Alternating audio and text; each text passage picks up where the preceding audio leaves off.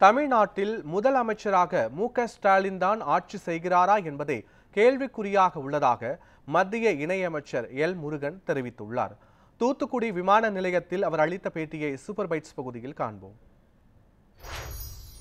தமிழக காவல்துறை இரண்டு நாட்கள் ஆகி நான் சம்பவமாகி இன்றைக்கு வரலும் கவுன்சிலரையோ கவுன்சிலருடைய அந்த கணவரையும் இன்று வரலும் கைது செய்யவில்லை.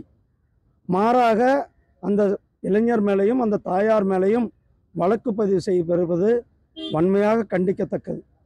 காவல்துறை எந்த அளவுக்கு சீர்கெட்டு போயிருக்குதுன்னு பாருங்க.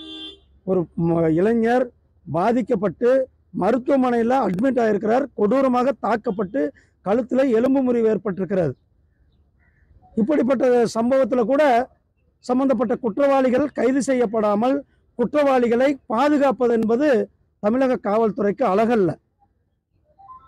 எந்த ஒரு சம்பவமானாலும் அவன் மேலே உடனடியாக நடவடிக்கை சில யூடியூப் அதாவது யூடியூப்லேயும் ஃபேஸ்புக்லேயும் அவங்க ஏதாவது ஒரு த தகவல் போட்டால் அவங்கள காலையில் அஞ்சு மணிக்கு விடிகாலில் ரெண்டு மணிக்கு போய் கைது செய்கின்ற காவல்துறை ஒரு கடுமையான சம்பவம். ஒரு கிட்டத்தட்ட அந்த இளைஞர் தாக்கப்பட்டு எலும்பு முறிவு ஏற்பட்டு கழுத்தில் எலும்பு முறிவு ஏற்பட்டு ஆபத்தான முறையில் மருத்துவமனையில் சிகிச்சை பெற்று கொண்டிருக்கிற கேஸில் கூட அவர்களை இன்றும் கைது செய்யப்படாதது கண்மை வன்மை அதாவது ஸ்டாலின் அவர்கள் ஆட்சி செய்கிறாரா முதலமைச்சராக இருக்கிறாரா இல்லையா என்பதே கேள்விக்குறியாக இருக்கிறது. இது ஒரு சம்பவம். இன்னொரு சம்பவம் நான் ஏன் சொல்கிறேன்னா காவல்துறை பற்றி இன்னொரு சம்பவம் சொல்ல வரேன். இன்னொரு சம்பவம் ஒரு க நடத்துனர் போலீஸ்காரரு டிக்கெட் எடுக்கலை.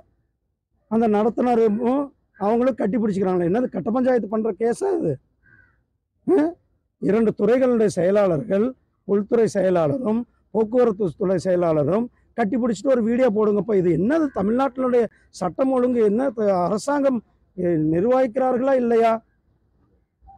மிகவும் கேவலமாக ஒரு முதலமைச்சர் ஸ்டாலின் அவர்கள் வேலை செய்து கொண்டிருக்கிறார்கள்.